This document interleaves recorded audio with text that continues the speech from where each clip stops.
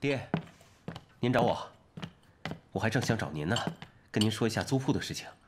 我们的租户欠我们几年的租金不还，我找染房的伙计把钱追回来了。我谁让你去的？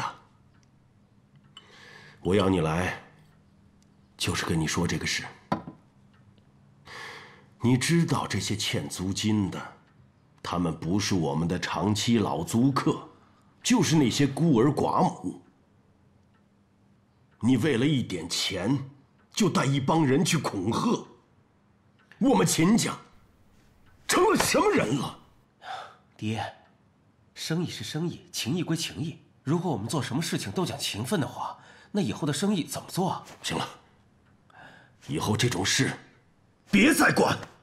爹，我最近已经考察清楚了，现在的洋货越来越普及，他们的染布质量又好。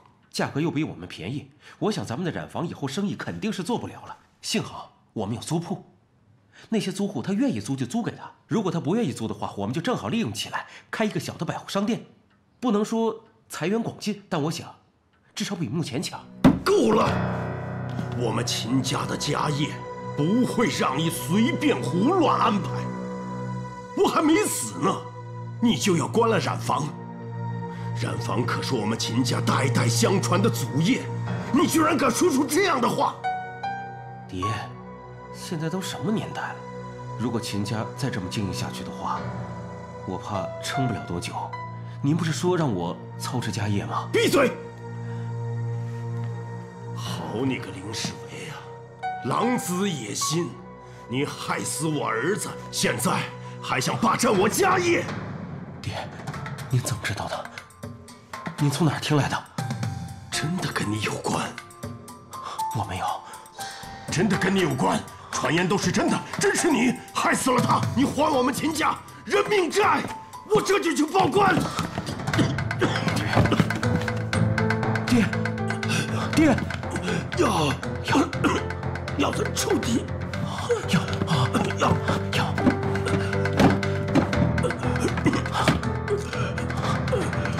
给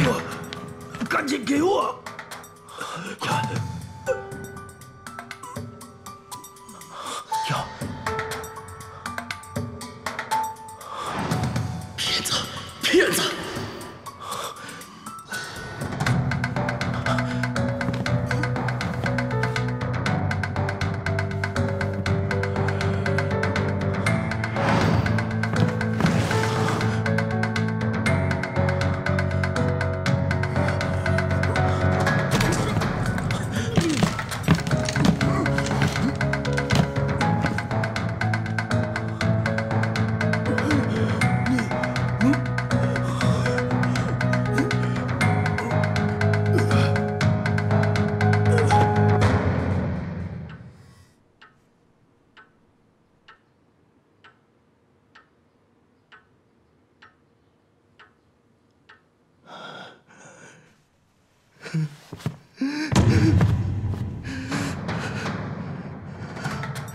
都是你逼我的，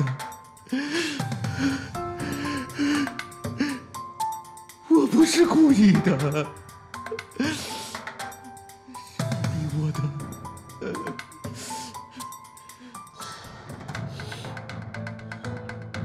不过你放心，我会对美如、美如好的，你不要怨我。请你放过我，我这不是有心害你的，请你放过我，放过我，放过我，请你放过我，放过我。